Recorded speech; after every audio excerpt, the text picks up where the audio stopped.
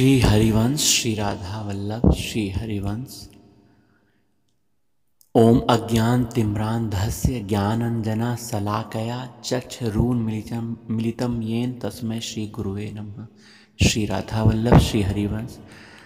आज की चर्चा में अजामिल प्रसंग पर चर्चा की जाएगी। उससे पहले श्री राधा नाम कीर्तन कर लिया जाए, थोड़े पल के लिए। राधा राधा राधा राधा राधा राधा राधा राधा राधा राधा। राधा राधा राधा राधा राधा राधा शिया राधा राधा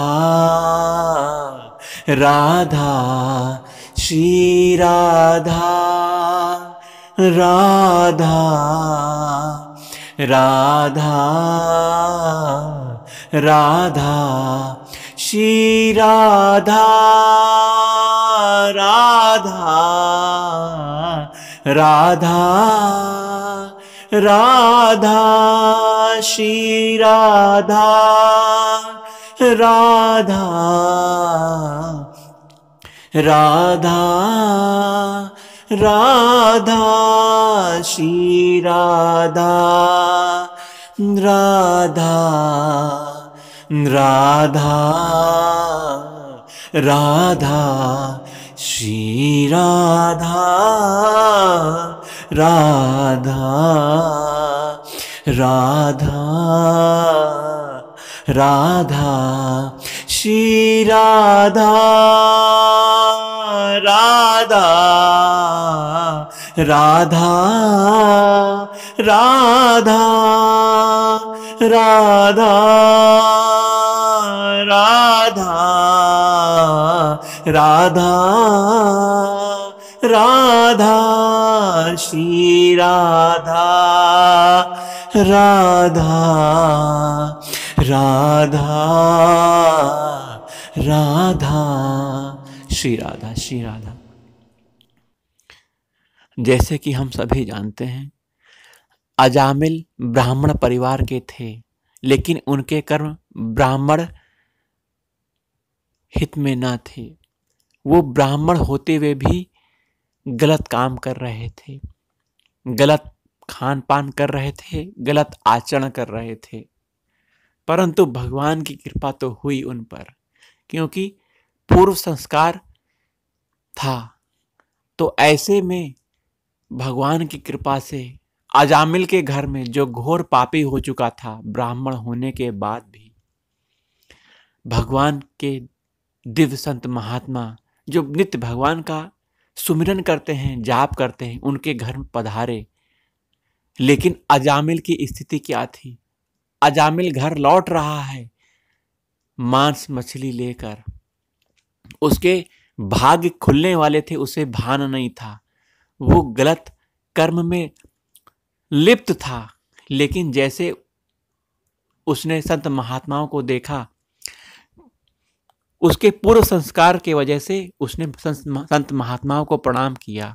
संत महात्मा देखकर पहचान गए कि ये ब्राह्मण होते हुए भी पतित हो चुका है, लेकिन भगवान की किसी कृपा के द्वारा ही इस अजामिल का उद्धार कराने के लिए उन संत महात्मा को वहाँ भेजा गया ब्राह्मण भगवान यह समझ गए थे। तो उन ब्राह्मण भगवान ने यह कृपा की कि तुम्हारी पत्नी गर्भ से है, अब अपने पत्नी से जो पुत्र पैदा होगा, उत्पन्न होगा, तुम उसका नाम नारायण रख देना, इसमें तुम्हारा कल्याण होगा। अजामिल ने ऐसा ही किया। जो पुत्र अपनी पत्नी से पैदा हुआ, जो कि वैश्या थी, उसका नाम अजामिल रख दिया। वो नारायण रख दिया अजामिल ने। हर समय अब अपने पुत्र का नाम ही पुकारता रहता था, क्योंकि पुत्र में बहुत आसक्ति थी। नारायण नारायण कहता था। नारायण चूँकि भगवान का नाम है और भगवान की कृपा से अजामिल को प्राप्त हुआ है। बालक धीरे धीरे थोड़ा बड़ा होता गया। अजामिल की आसक्ति अपने पुत्र में काफ़ी हो गई। नित अपने पुत्र का नाम ही बुलाता रहता था। कोई भी कार्य हो, नारायण नारायण करता था। नारायण को पुकार करके अपने सभी कार्य करवाता था। नारायण से कभी विलेख नहीं होता था। नाम चलता रहता था। यही उसके जीवन में शुभ होना था। दिव्य संत महात्मा भगवान की कृपा से ही हमारे जीवन में पधारते हैं और हमारे जीवन की पूरी दिशा को ही बदल देते हैं। हमें ये अजामिल की कथा से आज जानने को प्राप्त हो रहा है। जो व्यक्ति घोर पापी से पापी क्यों ना हो, यदि भगवान की कृपा प्राप्त हो जाती है तो उसके जीवन में वह प्रकाश आ जाता है जैसे अंधकार के बाद अंधकार के बाद प्रकाश आ जाता है और वह अंधकार खत्म हो जाता है। अजामिल के जीवन में भी ऐसा ही हुआ। वह नित्य नारायण नाम जाप कर रहा है। भगवान नाम की यह महिमा है कि चाहे स्वाद से लो, चाहे बेस्वाद लो, चाहे जान कर लो, चाहे अनजाने में लो, भगवान का नाम तार देता है। भगवान का नाम परम कल्याणकारी है। भगवान का नाम परम आनंद देने वाला है। ऐसा आनंद अजामिल को प्राप्त होने लगा था। अब जीवन का अंत समय आने वाला है। जीवन के अंत समय में किसको भान रहता है कि कब अंत समय आ जाए? अजामिल का समय आने वाला है। अब अपने जीवन के सभी पापों को देखते हुए, उनके पापों को देखते हुए यमराज ने यमदूत भेजे। यमदूत उसके प्राण हर हरण करने के लिए आ गए और उसका प्राण निकालने जा रहे हैं और वह बहुत ही शोक में हो गया, दुखी हो गया, वह चिल्लाने लगा। क्योंकि वह निधर जा रहे हैं, उसे बहुत कष्ट हो रहा है। परंतु नारायण नाम का प्रभाव ये हुआ कि उसी समय भगवान के पार्षद भी वहाँ आते हैं और यमदूतों को रोकते हैं कि नहीं, तुम इसे नहीं ले जा सकते, क्योंकि इसने नारायण नाम जाप किया है। जब यमदूत उसे ले जा रहे होते हैं तो वह अपने पुत्र को बुलाने लगता है, नारायण मेरी रक्षा कर, नारायण आजा, मुझे बहुत कष्ट हो रहा है, नारायण तू कहाँ है?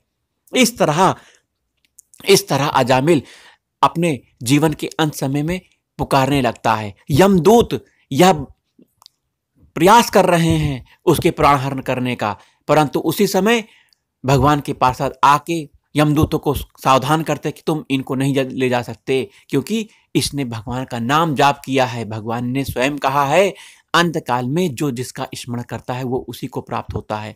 इसने भगवान का नाम जाप किया है, चाहे अच्छे भगवान का नाम चाहे अपने पुत्र भाव से लिया हो, चाहे जैसे भी लिया हो, भगवान को मान के लिया हो, भगवान का नाम फल देने वाला है। आप नहीं इसको ले जा सकते हैं।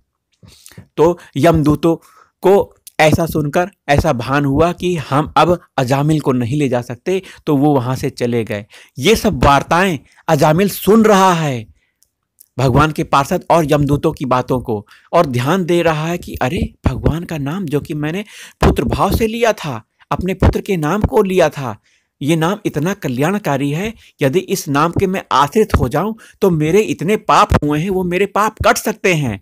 उसकी मृत्यु नहीं हुई, भगवान के पार्षदों की कृपा से, भगवान के नाम की कृपा से उसकी उस समय मृत्यु नहीं हुई।